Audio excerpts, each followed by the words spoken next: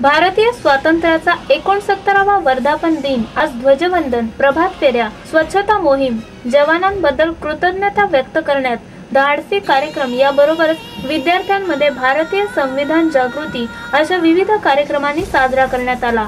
दहशतवादी संघटनांकडून देण्यात आलेल्या धमक्या भारतीय गुप्तचर संघटनांनी दिलेले इशारे यामुळे देशभरात पाळण्यात येणारी दक्षता या पार्श्वभूमीवर शहरात मोठा पोलीस बंदोबस्त जारी होता.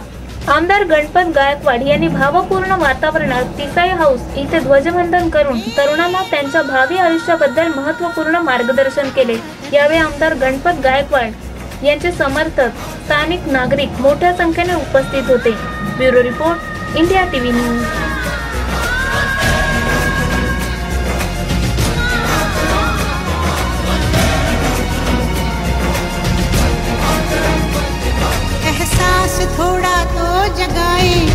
अपने दिलों में हम।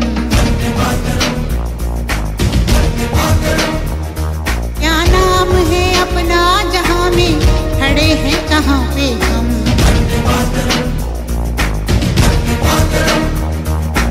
है हमें जाना कहाँ? चले हैं कहाँ पे हम?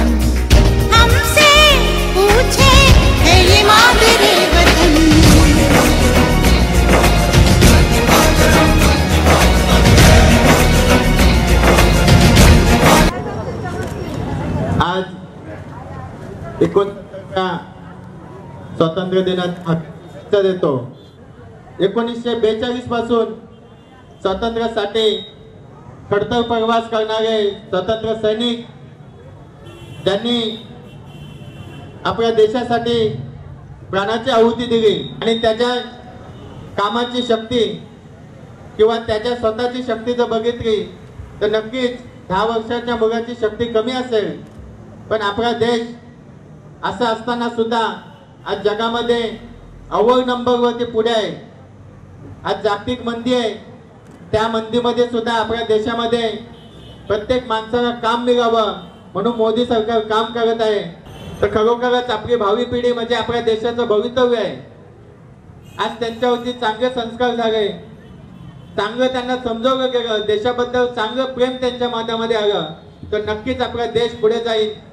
सर्वात मजबूत असेल. आणि आपल्या या देशामध्ये सर्वात जाती धर्माच्या लोकांना सुख शांतीने आनंदाने नांदता येईल.